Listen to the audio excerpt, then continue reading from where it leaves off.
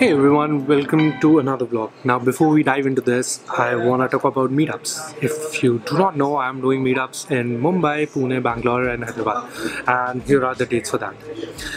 Now this time I'm collaborating with Prodigy Finance for the meetups. If you do not know about Prodigy Finance, well let me tell you. Prodigy Finance is a loan provider especially for the international students who are coming for masters abroad. They have until now provided loans to 15,000 people and they do not require a collateral or a co-signer to get the loan and they do this whole process online.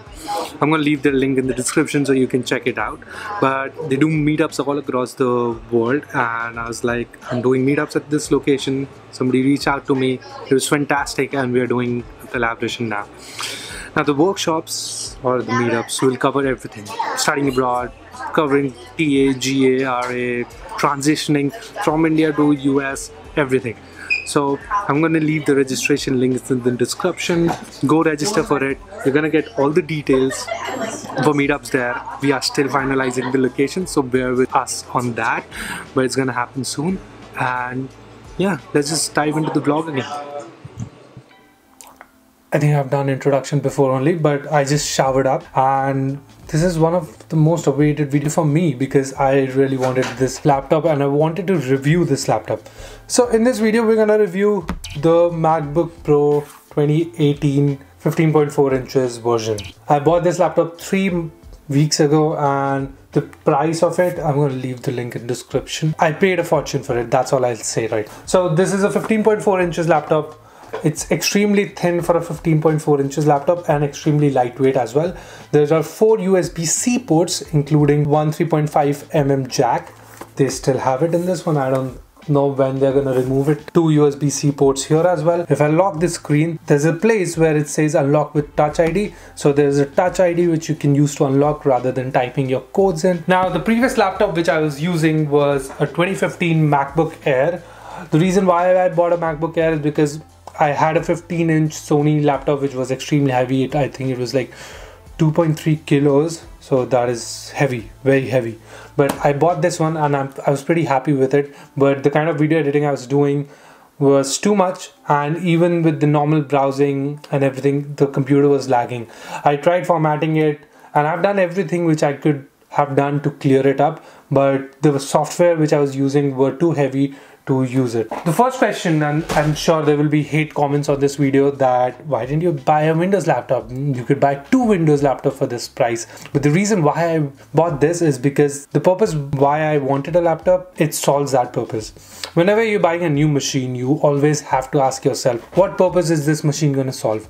So for me, main was that I know that I'm gonna get a computer from the company or I was gonna get a computer at the university with all the softwares. So I didn't really need a computer for the softwares, but I needed the computer for editing and normal browsing and just putting in my photos and doing normal assignments. If your main purpose is that you're going to use a software like Rhino or you're going to use a software like Revit or you're going to use a software like I don't know some other softwares in computer science or mechanical or industrial then you should buy that laptop and I don't have anything against Windows laptop but I personally prefer MacBook because I've been using it for four years and it is extremely reliable. I'll tell that to you that it has never hanged in front of other people that's a big embarrassment when you're buying a new computer. I can easily work on it for six seven hours minimum on the new pro. Now to talk about the specs of this computer it is the 15.4 inches version with the i7 processor of 2.3 gigahertz and there's a 16 gb ram and 256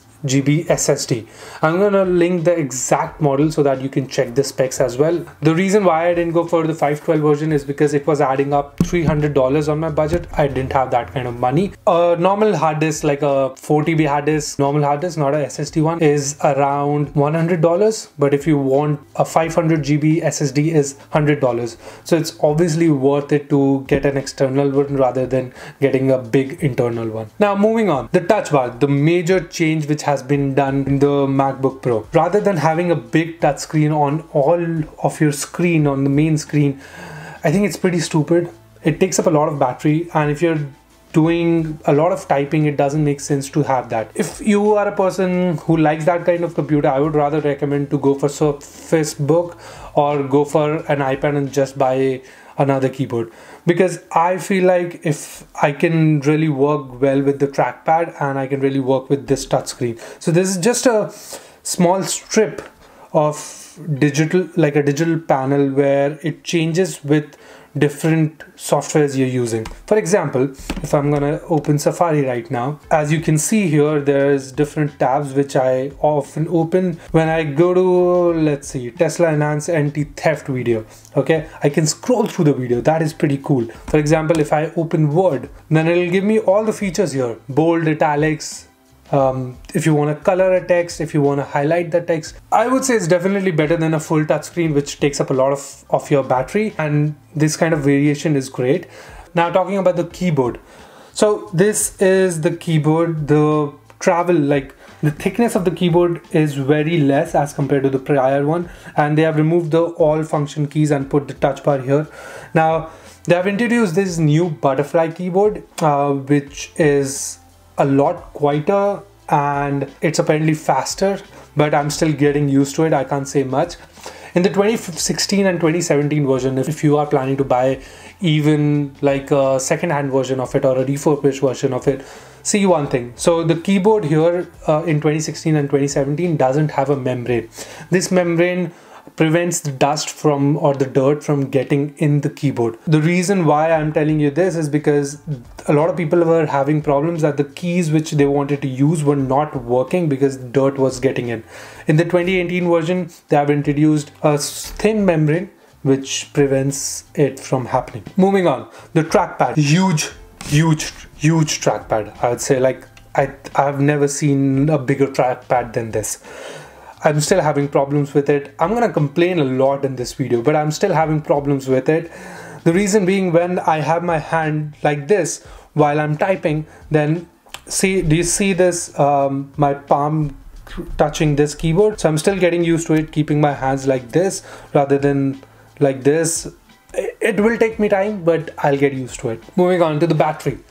Now, as compared to the MacBook Air right here, the battery is not as good this this thing is actually made for long-term use for business people for professionals who don't have time to even charge the battery. For them macbook air is great but it lasts like 10 hours uh, if you're just watching movies and if you're doing normal browsing.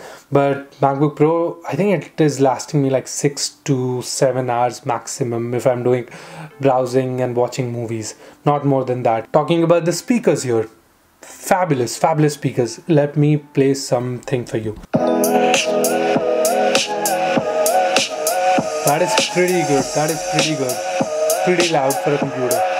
And it's stereo speakers so i can feel uh, the sound going from one speaker to this other speaker which is pretty great. Now if we move on and we talk about the heating issues the big issue which a lot of people who had a macbook pro prior to this the 2016 17 version and even the 18 version were having so due to the thin laptop the thin thin extremely thin obviously Apple is a lot on aesthetics and not on the functionality. They want to make the laptop beautiful. That's the thing. If I'm going to see this laptop even after four years, I'm going to see it as a beautiful tech which I just bought rather than thing which is thing of past. So because of such thin laptop, the fan is right here and it gets heated up a lot when you're using like Photoshop ArchiCAD or if you're using Final Cut Pro, the video editing software which I use on it, it gets heated up a lot and they tried improving it with the software update but I still feel like it gets a bit heated up. Can't complain because you're putting so much load on such a thin machine it's gonna happen. Next thing USB-C the ports right here ports on this side. Two on this side and two on this side. Now I'm gonna tell you one thing and I'll be very honest with you. The phone I'm using USB-C the action camera I'm using USB-C the computer I'm using is USB-C what do you see here USB-C is the future. It's gonna be everywhere. It's faster data transfer rate. It's like flippable and I actually like it except for the fact that you might trip on the wire and your laptop might flow off the table. That is a bad thing and I really miss the MagSafe. But other than that, USB-C has been great. So I had two hard disks which I switched to like I just got new wires for it which are USB-C as well. The only problem which I face while on the USB-C is when I'm shooting on this camera I'm using a SD card and for that I have to have this dongle.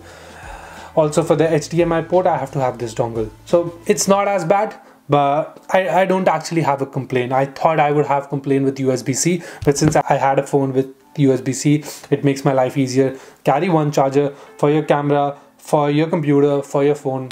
Best thing ever last question the major question or the question of the year comes as is this computer worth it? If it is solving the purpose you bought it for anything is worth it. If your phone is solving the purpose you bought it for maybe the camera maybe the phone or maybe you just want to browse internet on your phone and it is solving the purpose it is worth it. So for me the main purpose why i bought this computer is because i wanted to buy a machine which would last me four years which would let me edit videos in 1080p which i'm doing right now actually. And this machine is helping me do that faster. It is saving me at least an hour in every edit while rendering while processing. I can play with more clips as compared to less clips before. So for me, it is completely worth it. For a student who's coming from India, I would definitely not recommend it. You can go for a 13 inch version, which is like $1,200, or you can just go for a Windows laptop, which is even cheaper. And there are some great machines and I'm not in a fight. I like the Apple ecosystem and that's why I'm here. I don't like iPhones and that's why I use Samsung. I'm gonna be very honest with you. I think that sums up with my extensive, extensive review of the MacBook Pro. I hope I didn't bore you. But stay tuned for the LinkedIn video this Friday. And that's it. I'm gonna head out go for a coffee with Ram and edit this video because I have to post it tonight. Lot of travel this month. Stay tuned and I'm gonna talk to you more about on this channel. So if you haven't subscribed, make sure you subscribe.